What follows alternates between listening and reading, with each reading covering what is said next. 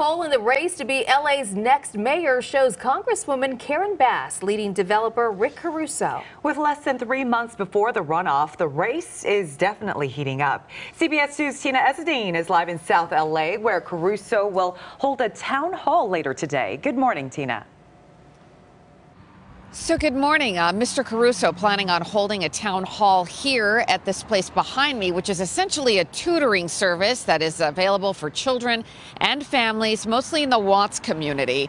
This is a very important time for Mr. Caruso, and he certainly must know it, uh, given the fact that the latest poll numbers, this is the second poll, I might add, in recent days, that uh, is showing mm, uh, Representative Karen Bass with a lead over Mr. Caruso in this race for LA mayor. The poll was conducted by the LA Times. More than 1,700 registered voters and 43% favored Bass compared to 31% for Caruso. 24% state they are undecided, however.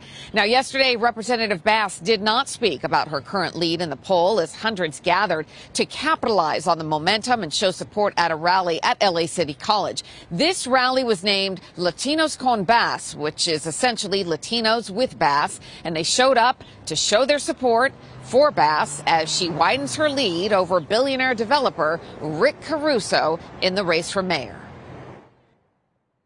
Not going to let anybody break our alliance. The city faces a crisis now, and time is right for unity.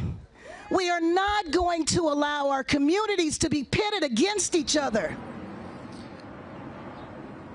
We reached out to Mr. Caruso's campaign and he issued us this statement. And I quote, polls show the top issues of this race are homelessness, crime, and corruption. I'm the only candidate who has a plan to fix these issues. And when voters focus on these issues, the dynamics of the race will change. I started this race down 30 points and beat out multiple career politicians to make the runoff and am confident the path to victory is clear.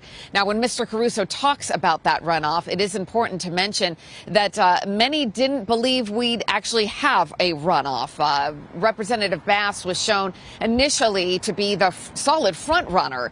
Uh, and uh, then as time went on, indeed, in fact, uh, Mr. Caruso and Representative Bass then did head on to November 8th, where there is going to be a general election.